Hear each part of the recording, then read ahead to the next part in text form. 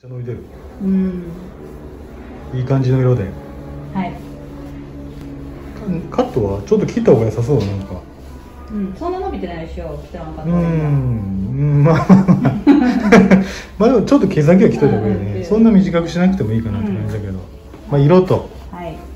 色がっつり伸びてるから。うん。色どんなとりあえずでも合わせて。うん。合わせて、うんまあ、ちょっと黄身が消えるような感じ？う。ん皆さんこんにちは。美容師の山です。今回のゲスト様のリアルカウンセリング聞いていただけましたか？ゲストさんなかなか忙しくて、えー少しね美容室の、えー来店が空いてしまいました。えー世の中の大人女性の方で、まあ、割とこういう方多いんではないでしょうか。えー自分が行こうと思った時になかなかタイミングが合わずね、スケジュールが伸びて伸びて、根元も伸びてすごくまあ時間がかかってしまって美容室に来るまでに、えその間にね、たくさんの方と会ったりして、えもっと早くね美容室に行けばよかったななんて思われる方、え結構ね見えるんではないでしょうか、大人女性の方ほど忙しいお子様やお仕事、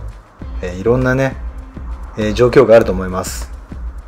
えそこはねすごくよくわかります、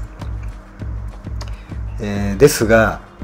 えそこでねやっぱり時間を美容室のために作る前もってこれが私青山のおすすめです。やはりね人間っていうのは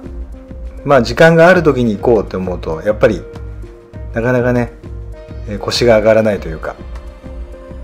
えーまた今度でいいやとか、まあ、行きたい時に美容室が混んでて入れないとかねそういったこともありますので、えーよく私がお勧めしているのが次回予約ですね、え2ヶ月後に必ず予約するとか1ヶ月半後に予約するとかまあ自分に十字をかけるわけですね、えーそうすると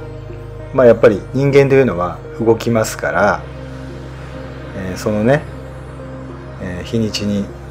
行くこういう準備ができるわけですね。なので、まあ、2ヶ月に1回ぐらいであれば、えーまあだいぶ髪も伸びててそろそろ行った方がいいかなっていう状態に皆さんなってると思います。なので、えーまあね次回えー終わった時に予約を取っとけば、まあ、電話する手間もないですし、まあ、もちろんねネット予約する必要もないのでそのままサロンに行けば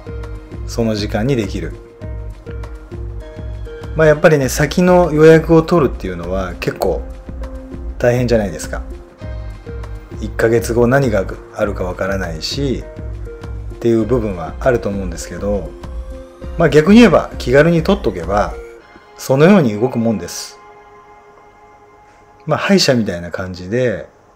え必ずね予約を取っていけば、えその次のタイミングの時にそこに行く。まあそういったことだと思いますので、ぜひね、え2ヶ月ぐらいが目安でしょうか。忙しい方で。2ヶ月ぐらいで来れば綺麗を維持できるんではないでしょうか。その間にね、久しぶりの方に会ったりして、すごい根元が伸び伸びしてると、かなりねもったいない印象になりますので、えーぜひね1年の中でもう1回美容室を増やして、え綺麗でいられる時間を作ってみてはいかがでしょうか。すごく伸びてから動くのではなくて前に前に動いていただけるといいと思います。ゲスト様めちゃいい感じに仕上がってきました。いかがでしょうか？ご来店していただいた時とはまるで別人のように綺麗になってますよ。紙でお悩みの方は利用者あやまにご相談ください。それではまた次の動画でお会いしましょう。さようなら。